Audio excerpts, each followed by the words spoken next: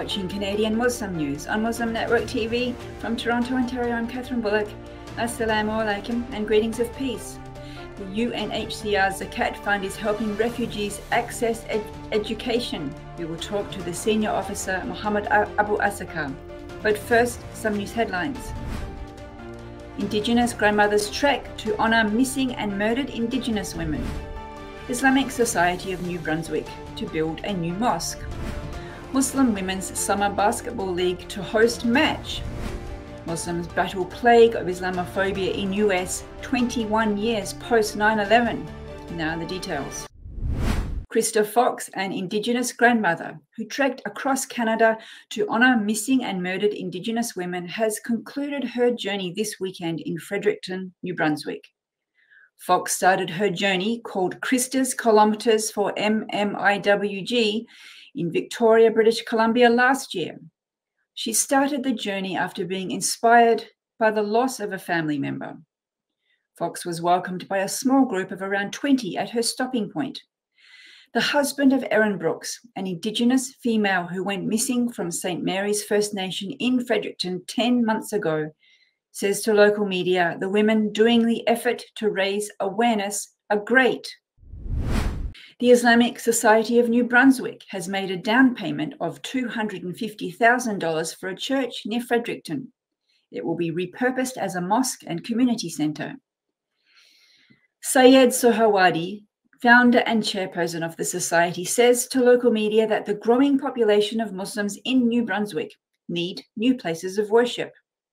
Sohawadi says that although there are some mosques already, they are not enough. The Islamic Society of New Brunswick was founded in 2019. The society opened its first mosque in St. John in 2020. The second is in Moncton.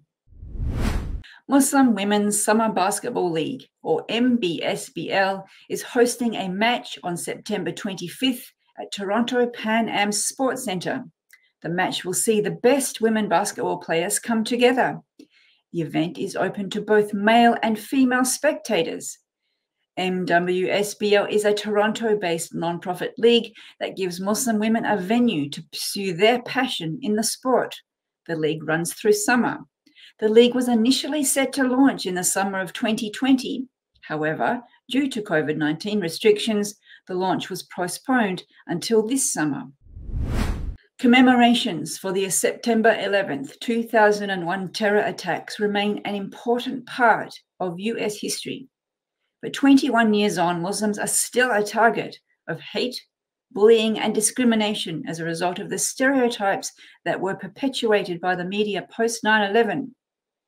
Hussam Ayloush, executive director of the Los Angeles chapter of the Council on American Islamic Relations, says that as a result, Muslims continue to face the threat of targeted violence. A 2022 study by Rice University's Boniuk Institute for Religious Tolerance in Houston has found that for Muslims, the scores on the Islamophobia index increased from 18 in 2018 to 26 in 2022. And that's it for the news.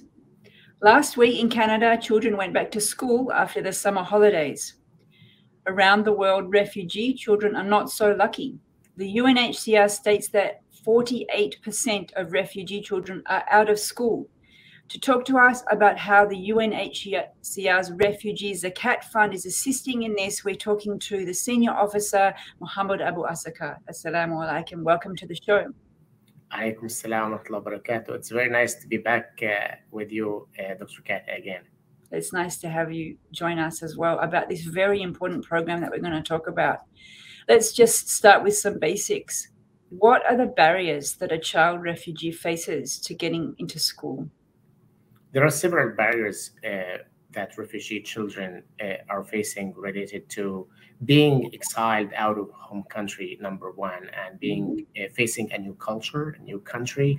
And uh, we're looking also into so many of protracted situations. They have been mm-hmm. there for a long time. And so many of the savings for the families been run out, and therefore they've been pushing their kids to work instead of sending them to school. Mm-hmm. And transportation is another challenge because of the, the, the financial abilities for families to send their kids to school and looking into new curriculars and also um, some challenges related to certifications mm. because so many of them lost their certifications in the process of being exiled out of their own countries.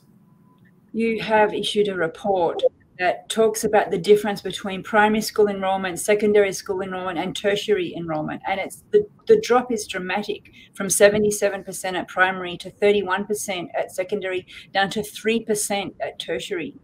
Are you able to tell us a little bit more about how why is it dropping so dramatically as the children get older? This is very, very, very sad situation. And looking into the refugee situation, the context that only three percent of refugee adults go to higher education. And when we think about uh, last week, when every students going back to their schools, and I'm thinking about refugees. Mm-hmm. And for refugee children, where half of them are out of schooling, are also for the adults, because there are some challenges that are facing. Number one, in related to the costs. Uh, in so many of the cases, it's expensive for refugees to get admitted to schools, and also uh, for some legal legal aspects to get admitted as well. So basically, uh, we are looking into having refugees going back to school so we can invest in the education. Because we believe investing in refugees education is the smartest investment on the long term. I want to ask you about that but just let's make this uh, more visual for the viewer who's never been to a refugee camp, or perhaps actually some of your viewers are refugees. But when I see the images of refugee communities, they often in tent cities. And then you wonder so, how are they going to get from the tent city to the school? And universities, for example, place very high fees on international students. So, how is a refugee treated, like in, from the administration point of view? Are they treated as a local or are they treated as an international student? So, if you could just talk about like the practicalities of, of living in a tent city and trying to get to school. This is a very good question. And let me portray a picture for some of the audience who have never been to refugees uh, setting. Mm-hmm. So when today we are talking about 100 million refugees and intern displaced people in the world, and when we look into half of the children are out of schooling, just let us think about what kind of future are waiting for this kind of generation. So, uh, in terms of refugee camps, there are only 15% of refugees live in camps. The vast majority of them live in urban setting, and this is what we would like them to be like the kind of context that they're living into uh, for for a long for for so many different reasons that they would like them to have a kind of a similar life conditions uh, to where they have used to. So when we look into any specific country where the family running out of their savings and the uh, the employment is restricted in so many situations because look into the global economy looking into the unemployment rates for local people. Mm-hmm. So that adds more burden and barriers on refugees themselves. So if I am at 18 or 20 years old, I would be thinking million times before joining a school rather than working on finding any opportunity to find mm-hmm. any kind of income for my family. Looking into family con- family context and they're having the, the, the minimum to keep them mm-hmm. alive. And so they've been forced to go to work to find an income for their families. And this is why we say when we ask for an income for education, for higher education program or for primary education program, so this is to save their efforts and instead of going to labor so they can have an opportunity for hope. Tell us then about the Zakat fund, the refugee Zakat fund. How does that? Uh, is this an, a Zakat eligible expense? Yes, uh, as part of the Refugee Zakat Fund, uh, Alhamdulillah, we have managed to receive a fatwa from Canada uh, that allows UNHCR to receive uh, uh, zakat funding for the purpose of education and mainly for higher education. So this will allow uh, talented refugees to get admitted to schools wherever they are. They can join local schools, and we have seen so many examples where we have seen refugees being studying medicine, studying engineering, mental health, uh, law, and different topics. And looking into a few years from ahead from now, so we are going to see professionals in so many different fields. So refugees are, because of their resilience, they are not a burden on any of the local country. Rather, they are a contribution. They're a contribution to the local economy. They're a contribution to the investment of education and knowledge. And this is what we are talking about. So this program. And are you, are you are you stressing this contribution rather than burden because of political anti-refugee sentiments in many uh, receiving countries? Well, it depends on the context of refugee. There are so many situations where we have seen refugees die because of famine, die because of no eh, no any kind of assistance. So mm. based on a priority, we can like look into what is most needed. But mm-hmm. looking into protracted situations, we believe that it is very important to look into uh, the future of refugees, the future for themselves, for their families, their communities, their local communities, and they can have an, an asset to go with back home. And how are you dispersing the money? How are you choosing the people to support? So we're asking all philanthropists to look into investing a kind of uh, investing for a long term uh, in education, investing in refugees for for sustainability purposes. And we how are, you get the money? Is there an application form on your website? Like, how are you making that one to one connection? So, Refugees Zakat Fund has a website online. everybody can visit and they can donate online. They can choose education. And we have, we're very blessed, alhamdulillah, to have for the first time a fatwa that endorses uh, the zakat that endorses UNHCR to receive the zakat and to channel to refugees. And we are looking into um, uh, a long-term plan where we have would like to have as many of talented refugees as possible. And how will you find these people? How are you going to find the refugees to give the money to? So, as you know, uh, UNHCR has a database full of refugees. We have a one-on-one interviews and meetings, and we have their data, and we know who are there, what the qualities are, qualifications, and what kind of certification. And uh, we also know their aspiration.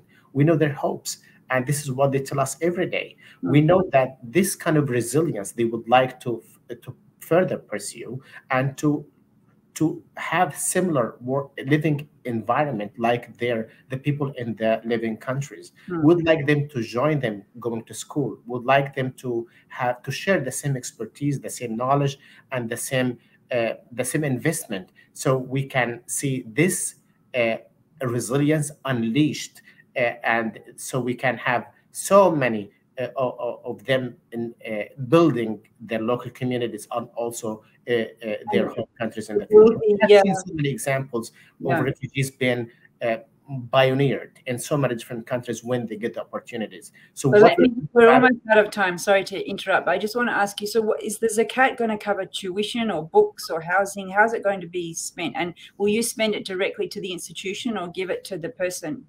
It covers all. It covers the tuition, it covers the uniform, it covers the stationaries and transportation. So we're talking about a full scholarship that enables students to go to school. This costs twelve thousand dollars for a full year, a full program, like for a mm-hmm. whole uh, bachelor degree, and it costs three thousand four hundred dollars for one academic year. So, this is like we were out of time, but you you ended on the numbers, so we'll do a plea for people to donate. Thank you very much for joining us today. Thank you very much. Thank you for watching. If you like what we do, please share, like, and subscribe. Stay safe and God bless.